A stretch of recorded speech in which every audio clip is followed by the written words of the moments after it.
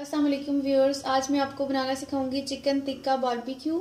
इसके लिए आपको चाहिए चिकन दो किलो, अदरक लहसुन का पेस्ट दो खाने के चम्मच, दही एक कप, ऑयल एक खाने का चम्मच, नमक हसब जायका, लाल मिर्च का पाउडर तीन खाने के चम्मच, लीमू का रस क्वार्टर कप काली मिर्च एक चाय का चम्मच, ज़ीरा एक चाय का चम्मच, हल्दी एक चाय का चम्मच पाउडर एक खाने का चम्मच और आपको येलो फ़ूड कलर चाहिए थोड़ा जो पीस होते हैं वो छोटे होते हैं इसलिए आप देखें मैंने एक साइज़ का छोटा लिया हुआ है।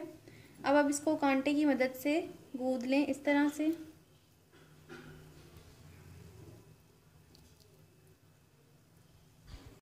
ये मैं इसको इसलिए कर रही हूँ ताकि जो मसाला हम इस पर लगाएँगे वो अच्छी तरह से इसमें रच जाए।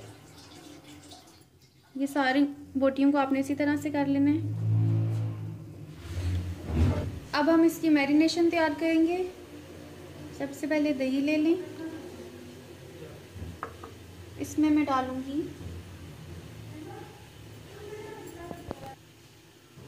अब इसमें नमक डालूँगी।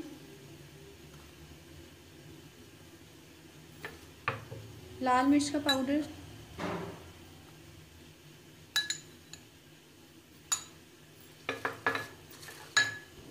अदरक लहसुन का पेस्ट शामिल करें इसमें।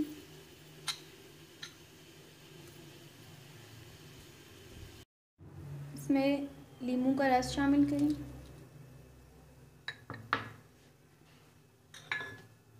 अब मैं इसमें डालूँगी हल्दी, ज़ीरा पाउडर,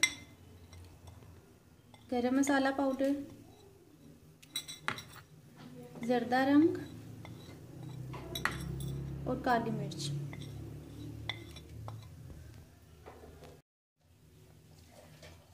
अब इन तमाम चीज़ों को अच्छे से मिक्स कर लें।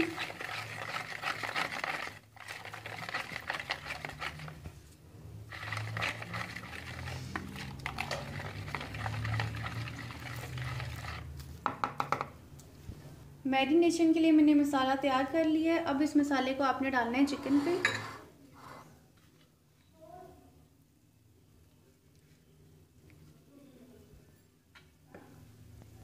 अब इसके ऊपर से ये ऑयल थोड़ा सा डाल दें।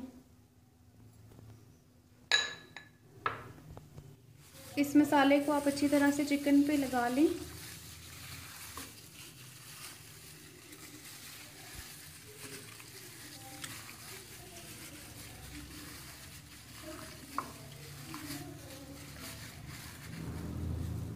चिकन को मैंने मैरिनेट कर दिए अब आप इसको ओवरनाइट छोड़ देंगे तो मसाला इस पर ज़्यादा अच्छी तरह रचेगा।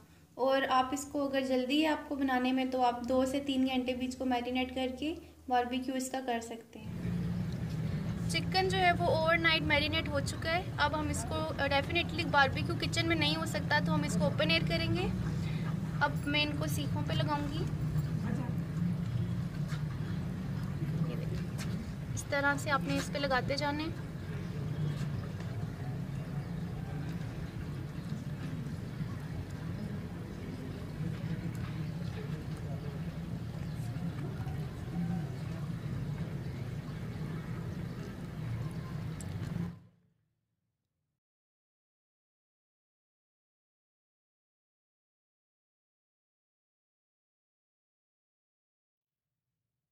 कोयलों को मैंने अब जला लिया था, अब इस पर इन सीखों को अपने रखना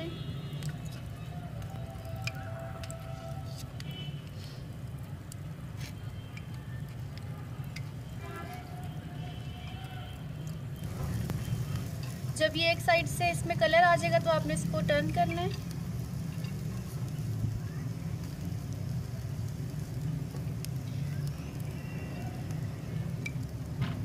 कलर आना शुरू हो जाएगा तो आप इस पर ऑयल लगाएँगे।